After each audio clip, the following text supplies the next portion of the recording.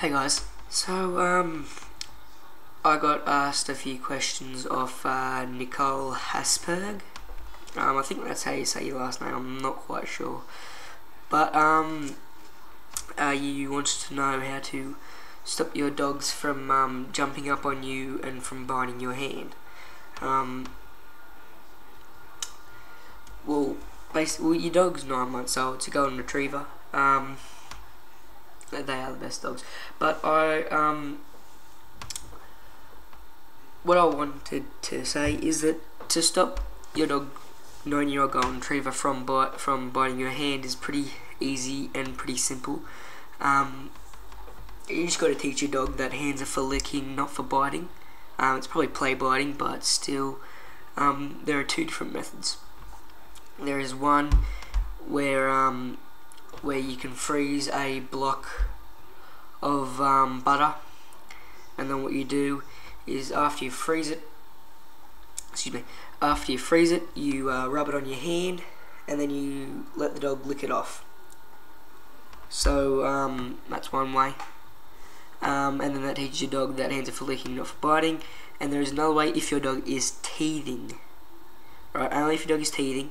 Um, if your dog's biting your hand, you can remove their their um, their mouth from your hand, and then you can give um, give them a toy to bite on. Alright. Um,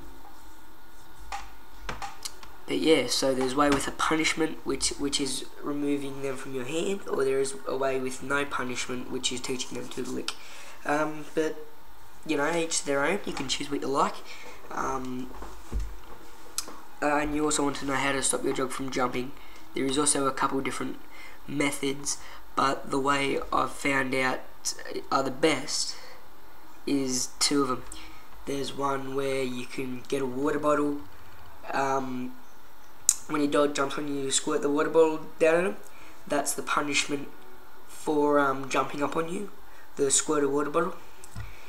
And um, there's also one that I found to be very well, extremely effective is when your dog jumps on you, you grab its paws, and it's not hurting the dog at any point. It's not hurting the dog. It's just a, it's just an uncomfortable spot for it to be. So you hold its paws and you wait till it struggles. Then when it struggles, um, sorry, then you grab its paws and you say down. And once it starts struggling, put it down. And then if it does, and then um, if it does, and then once it keeps doing that, and then once it stops jumping you keep on rewarding the not jumping policy. So there's got to be a rule. There has to, so in both there has to be a consequence and a sorry you can't really see. You have to be there has to be a consequence and a reward. Consequence for doing the wrong thing reward for doing the right thing. Um, and you know you can choose what you like. Um, I just wanted to help you out with this, and I've just realised that you've done the the Venus painting.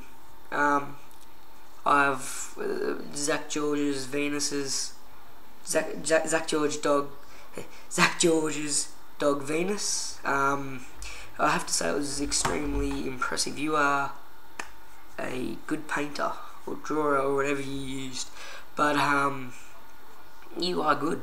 Um,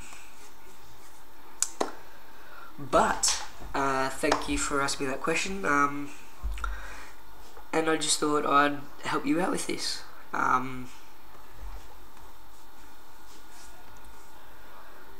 but yeah. So choose what method you like. Um, but I can guarantee you all of them do work. Um, the ones I've found to be most effective for the biting one would have would have to be the uh, butter and one for the um, the uh, jumping one would have to be the grabbing of the paws. Um, but you know different dogs um, take to different things. So your dog might be um, your dog might learn faster if you spray the water on when it jumps. Um, or your dog might um, learn to not bite if you give it a toy. Um, but you know each to their own dogs are different. Choose what's best for you. And yeah. So, um, which method would you take? Alright guys. Alright, um, please comment on this if you like it. Tell me if you want me to do more of these um, by a message. And um, if you have got any questions, leave in a comment. You can tell me on my um, Facebook page. And yeah, alright. See you guys, talk to you later.